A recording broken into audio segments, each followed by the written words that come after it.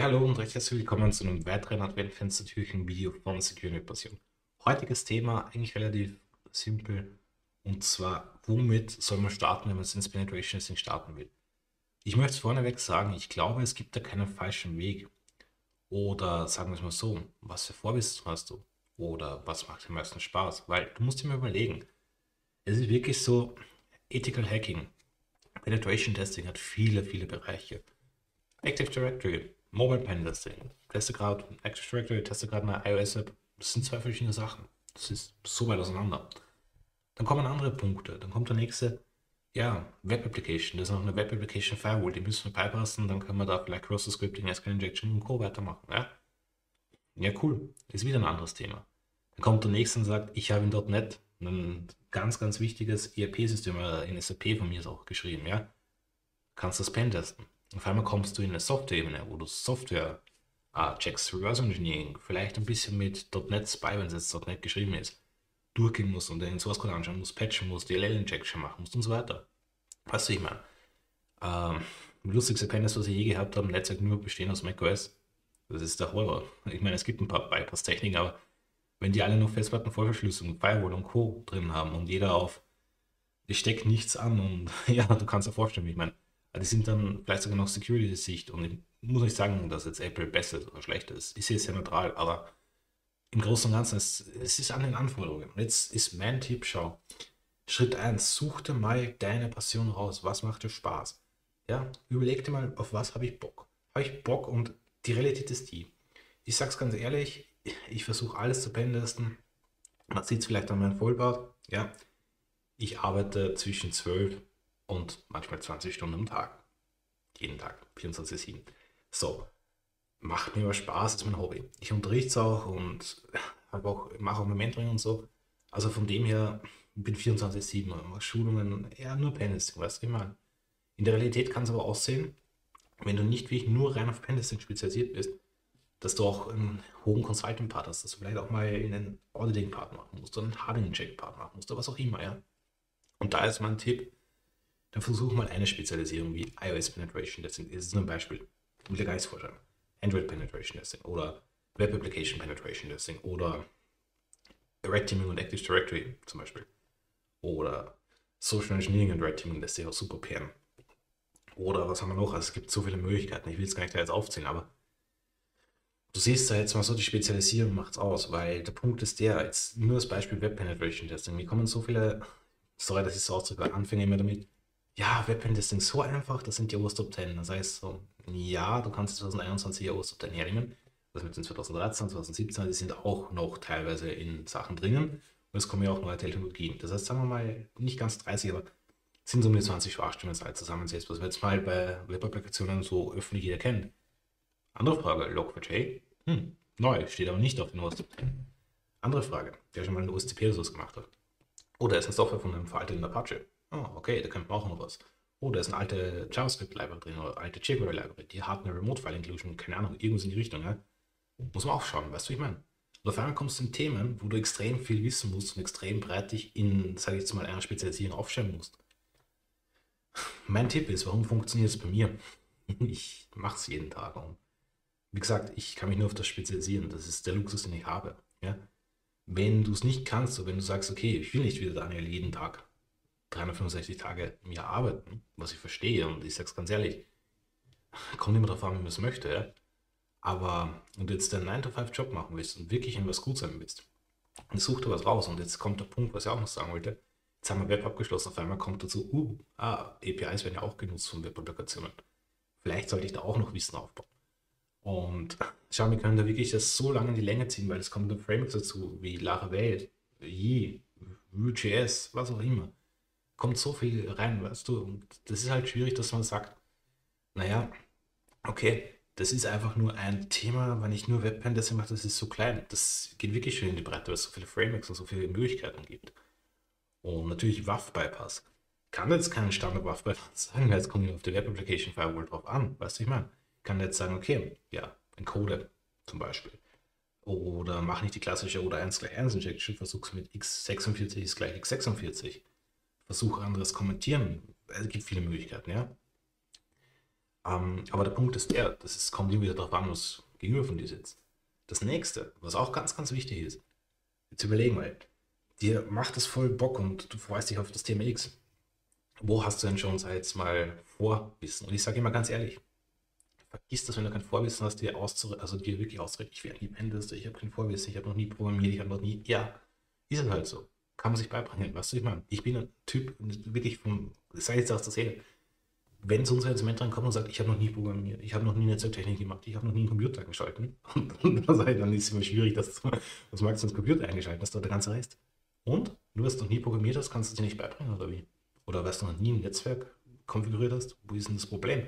Du musst ja im Penetration Testing, sei jetzt mal, nur die Grundzüge daraus verstehen, dass du die Empfehlungen geben kannst. Aber das Ausnutzen, sei jetzt mal so, lernt er meistens genau dann, wie das Konzept und das Security-Konzept dahinter funktioniert. Dann lernst du es ja eh wieder neb nebenbei, sei jetzt mal mit. Und deswegen ist kein Problem. Aber zurück zum Thema. Hast du irgendwas, was du schon als Vorwissen hast? Ich kenne Sysadmins, die sind 35, 40, also fast 10 Jahre älter als ich. Oder 40 Jahre sind sogar über 10 Jahre älter als ich, ja.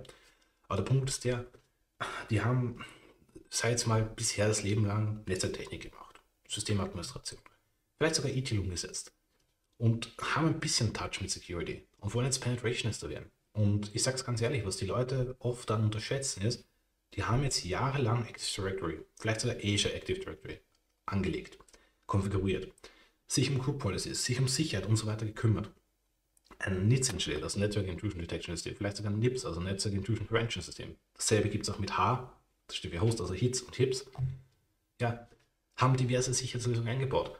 Jetzt will mir einer sagen, dass ein Newcomer Penetration Tester, ja, der noch gar keine Erfahrung im Netzwerk hat und das erste Mal da reingeschmissen wird, effizienter ist als der Typ, der noch keine Pentesting-Erfahrung hat, aber das ganze Netzwerk versteht. Ja.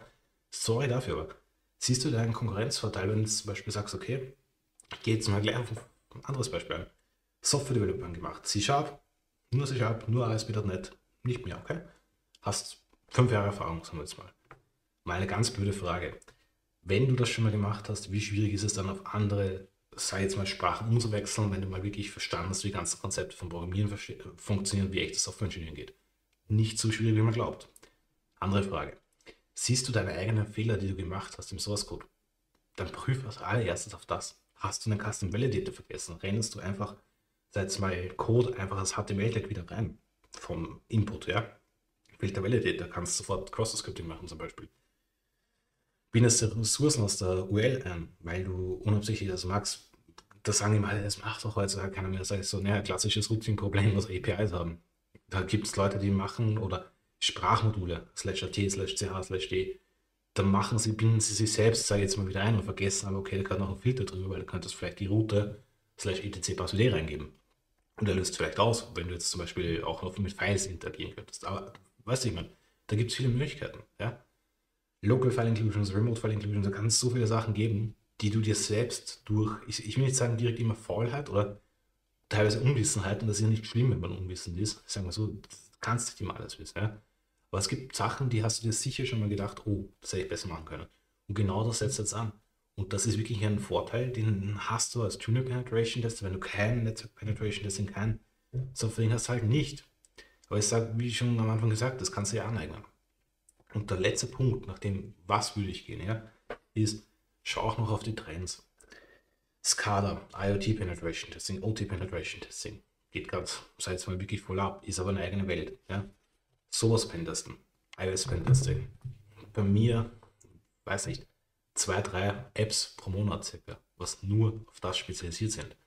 Android sei jetzt mal circa eine App mehr. Also es ist meistens so, wir jetzt mal so 50-50 bei der Aufteilung. Also wenn ich iOS teste, teste ich eigentlich Android mit. Kommt aber dann oft, äh, sei jetzt mal einmal Android mehr, weil es dann doch, weiß ich nicht warum, aber den liebe es dann die Android-App nur zu testen. Okay. Webpen-Testing, All-Time Favorite. Active Directory Pen Testing. Come on. Ich, ich rede mit so vielen Firmen, die immer die ganze Zeit gute Active Directory Pen Tester suchen.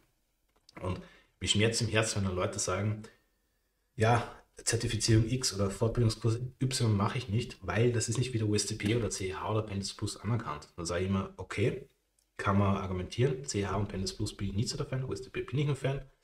Aber die Frage ist, ja gut, ähm, schlägt Wissen, sei jetzt mal Humankapital, oder schlägt ein Stück Papier, sei jetzt mal in der Realität, zu und schafft es, die Schwachstelle auszunutzen.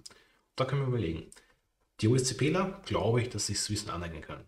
Die Pentest Plusler und CH, wenn du nur das hast, sagen wir mal, du weißt nicht, ich glaube nicht. Ja, offen und ehrlich.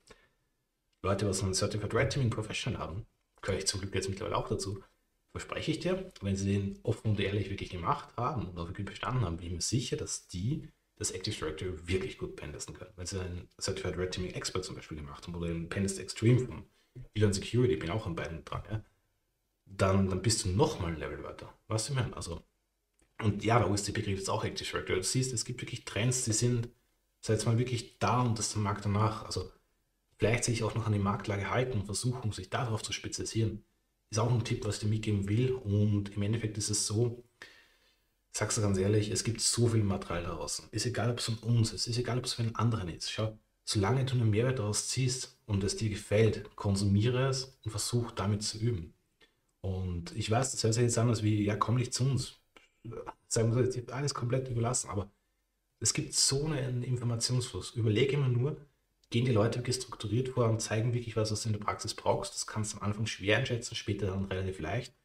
Oder ist es dieses Pseudo-Hacking, was du immer auf YouTube-Kanälen siehst, wo du nicht wirklich Pentesting siehst, sondern nimmt Metasploit, gibt ein Back drüber und sagt, das ist Android-App-Pentesting, was Bullshit ist. Was ich meine, ja, deswegen, das ist ein bisschen schwierig, aber konsumier das einfach.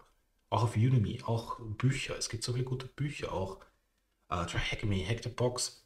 Es gibt Sachen, die sind halt unrealistischer wie CTFs, und es gibt Sachen, die sind realistischer. Und da kann man auch googeln. Auf Reddit schreiben viele Leute oder auf diversen Foren schreiben viele Leute, was sie als realistisch empfinden. Und das sind meistens gute Security Consultant. Konsumiere Xing, konsumiere LinkedIn, konsumiere von Easy Council, Offensive Security, die ganzen Webinare. Da gibt es so viel. In diesem Sinne, ich wünsche dir viel Erfolg ja, beim Penetration Testen, beim Penetration Testen lernen. Und wenn du Bock hast, kannst du natürlich zu uns kommen in unser Mentoring.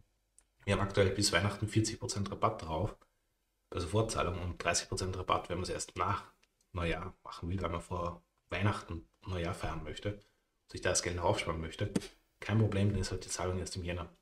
In diesem Sinne, ah ja, wenn du dich bewerben willst, einfach an mentoring.securitypassion.at bewerben und ist komplett kostenlos das Beratungsgespräch mal und da können wir schauen, wie geht es dir, welche Ziele willst du machen, können wir dir helfen dabei und dir mal eine kleine Roadmap geben.